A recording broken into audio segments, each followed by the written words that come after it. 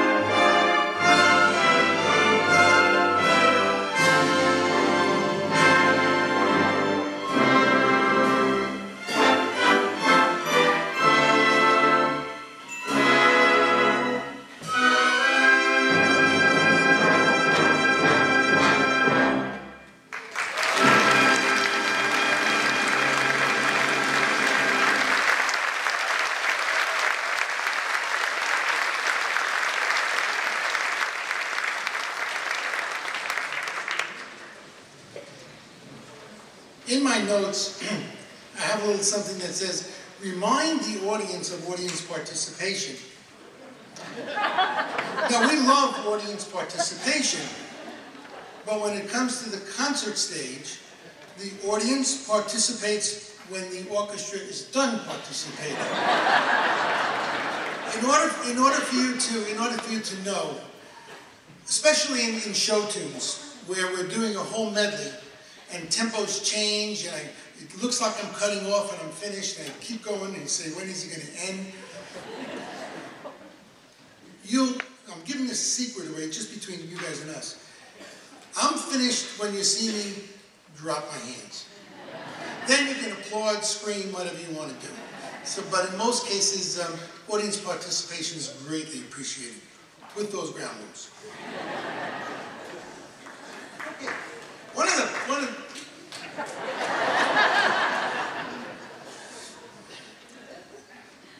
I was warned about hecklers with this crew, by the way.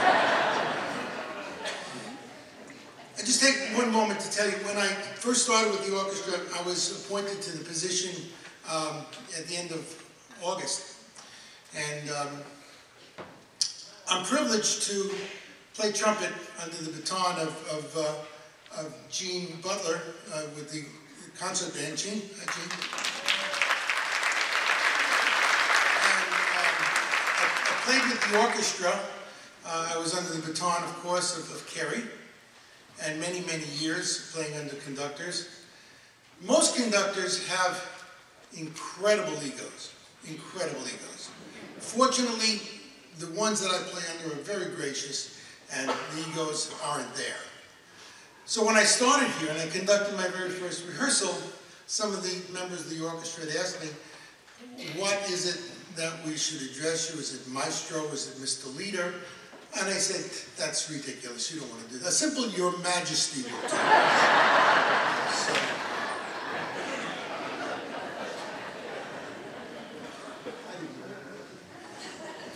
Chorus Line, one of the most, uh, one of the most sought after shows in very many different venues, played all over the world. It opened up in 1975 on the Shubert, at the Shubert Theater. Um, music, of course, was Marvin Hamlisch. And Bob Lowden did the arrangement on this. I love to mention the arrangers because um, arrangers really put the piece together. Uh, of course, Marvin Hamlisch was the genius that, that thought it up, but arrangers do, do a lot of hard work. So Bob Lowden's arrangement. Uh, in 1985, it became a movie. Uh, in 1975, I don't know if I said it or not, it did open at the Shubert Theater in, in New York. We do have soloists here. We have uh, all of our percussion section.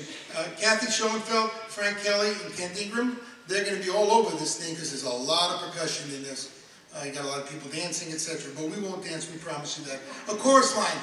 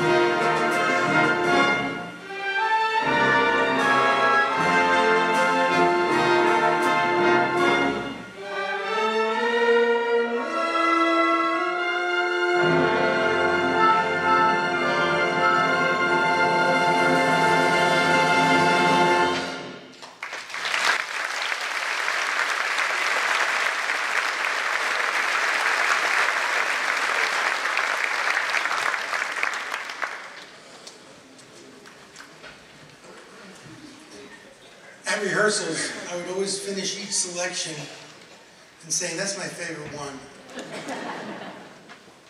So I don't know which one it is. Phantom of the Opera. This one has a great story to it.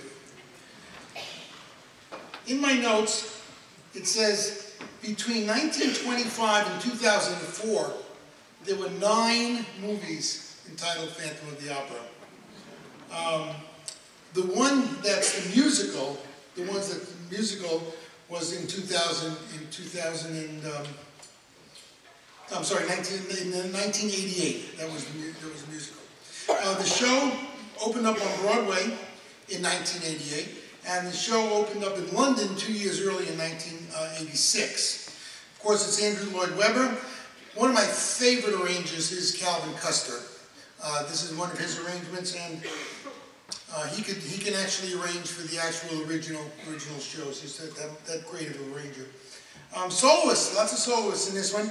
Judy Weller on flute, uh, Gene Phillips on piano, Greg Weber on trumpet, Susan Barton on clarinet, uh, Michael Schlafly, a concert master, and, uh, and Maggie Carver on French horn. So once again.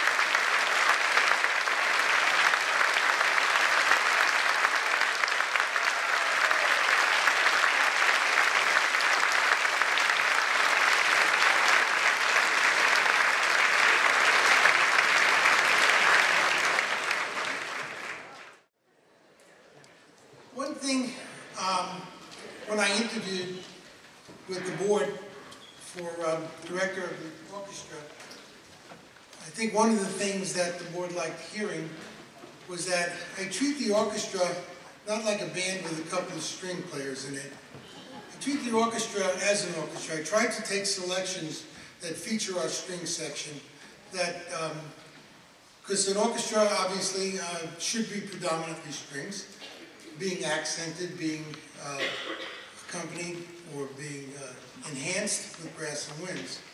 So uh, our first selection for the second half is The Wizard of Oz, and we're going to feature only the strings. I didn't want you to think that my brass and winds walked out on me. there's a, there's a, a third individual, uh, when he comes out, when he comes out I'll introduce him, but there's a third individual whose name was inadvertently uh, left off the program, one of our trumpet players, uh, Don Brennan, so I will when he comes here, I'll embarrass him because he told me about it, and I'll make him stand up, and uh, so so you can all you can also see who he is. The Wizard of Oz. Let's talk about that. Um,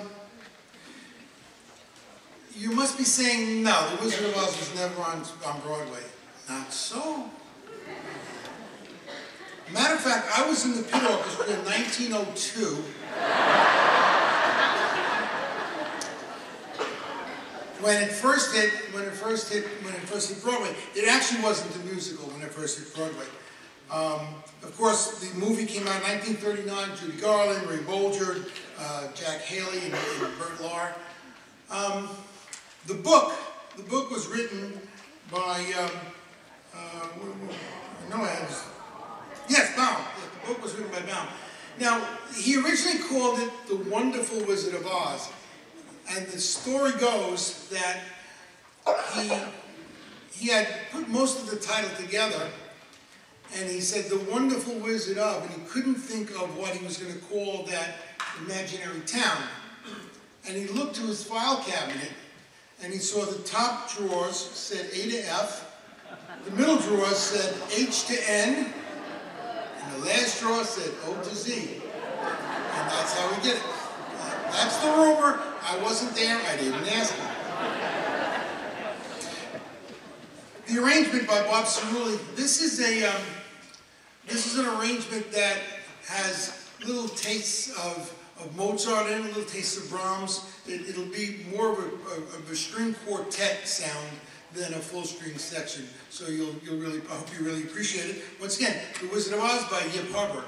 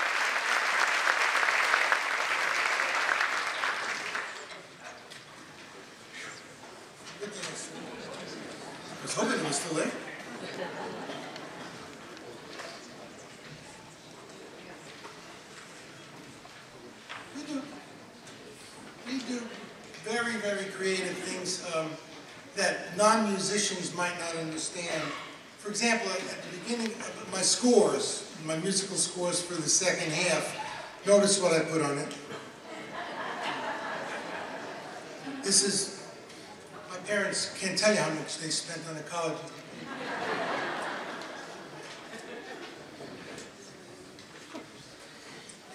Now you see why I'm proud of our string section.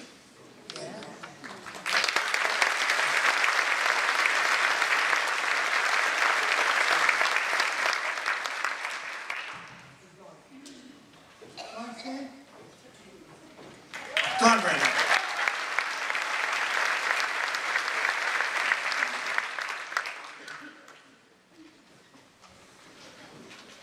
Okay, Grease. That's interesting. Grease stayed off Broadway for most of its most of its uh, time. Actually, most of its time on Broadway as well. So it was off Broadway and on. Uh, it was off Broadway. Started in 1972, and uh, it hit the Broadway stage in 1980. So it was off Broadway for quite a bit. The movie was 1978. We all know with John Travolta and, and other folks. Um,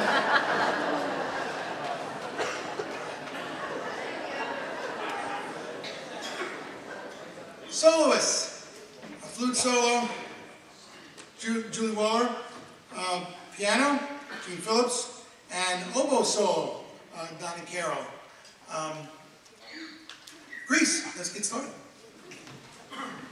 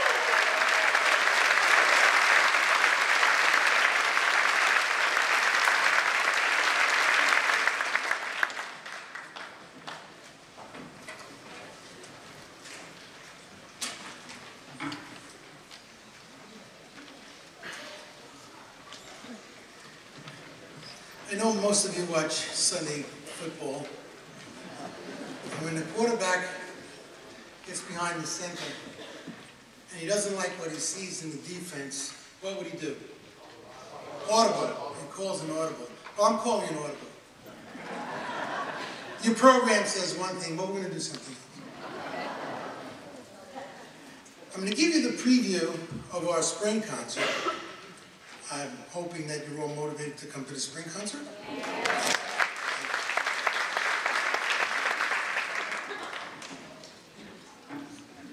I'll let you decide, I'll let you figure out what our theme is going to be. Uh, the spring concert, of course, will feature, I'll give you a hint. It features another musical organization. Okay? So we're gonna we're gonna do the mystery number now. We're gonna do mystery number. Think about it and see if you can associate another musical group with that. Um, I'll give some more hints after we're done with it, but don't don't look at the music. Don't let them see them. Okay, well let's uh, let's uh, do the mystery piece.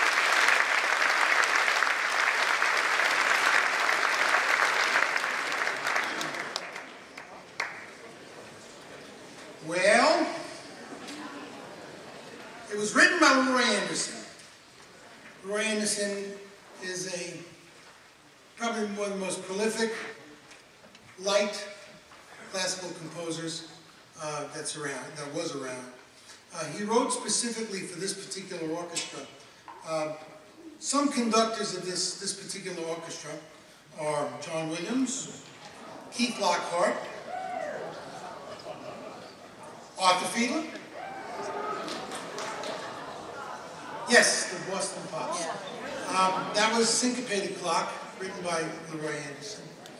And we're going to feature our spring concert with um, the Villages Pops plays the Boston Pops.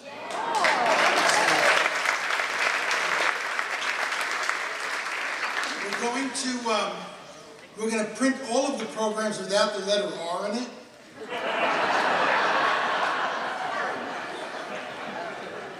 Make sure that we all back the cap, yes. Okay, uh, our final selection, our final selection. So by the way, um, I'd start looking for tickets now if I were. The, uh, the, the uh, oboe soloist, oboe soloist in that was Don Carroll. I didn't want to give it away.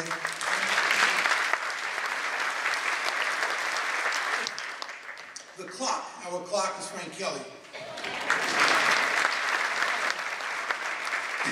Before he came out, I had to wind him up. Les Mis, Les Mis, Claude Michel Schoenberg. Um, probably one of the most powerful pieces of music uh, written, uh, and of course the show as well. But um, the, the, music, the music um, is, uh, is very compelling. Um, it, it, it's one standing ovation type when you're at the show, one standing ovation after another, another. He just wrote uh, as, as best he could do. Uh, the book, of course, was Victor Hugo, uh, 1862, for anybody who was an English major and didn't remember. Um, it hit, first it hit Paris in 1980. That's where it, where it first appeared as a Broadway, as a, as a musical. It hit Broadway in 1987. Movies. There, there have been, the Phantom of the Opera is a, is a, is a very well-known story. It doesn't have to have the music to it to be a, a compelling, a compelling uh, read. Uh, 1935, originally, originally came out without music, obviously. Uh, 1998 also was a non-musical. 1998 was also a non-musical. And in 2012, I'm going to have to fact check this, but I wrote it and I looked it up again. It said in 2012, that's when the musical version came out. I'm, I'm thinking it might have come out sooner. Um, so, um, I wrote it down, I have to say. We have soloists, soloists in the selection. Donna Carroll on, on oboe and Susan Bartlett on clarinet. Uh, Les Mis. Now, a couple of uh, housekeeping items. Um, we will be, we will be um, uh, advertising our A-list, as we always do on our website. Our A-list, in case you don't know it, is, um, is folks that sign up to get advanced seating. Um, they, get, they get their tickets a week before the tickets go on sale to the general public. And they're just general supporters. They want to, they want to support the orchestra. Bless you.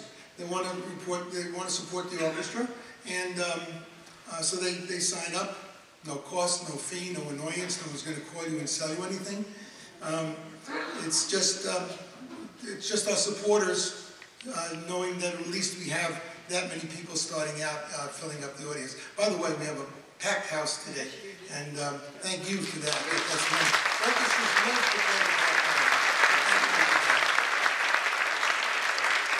So we do Les Mis. Um, we hope you enjoyed the evening, and uh, be careful driving home. The roads get slippery, especially when the temperature drops below 30. Oh, no, New York. Anyway. Picked up the New York accent, I imagine. It's not Boston.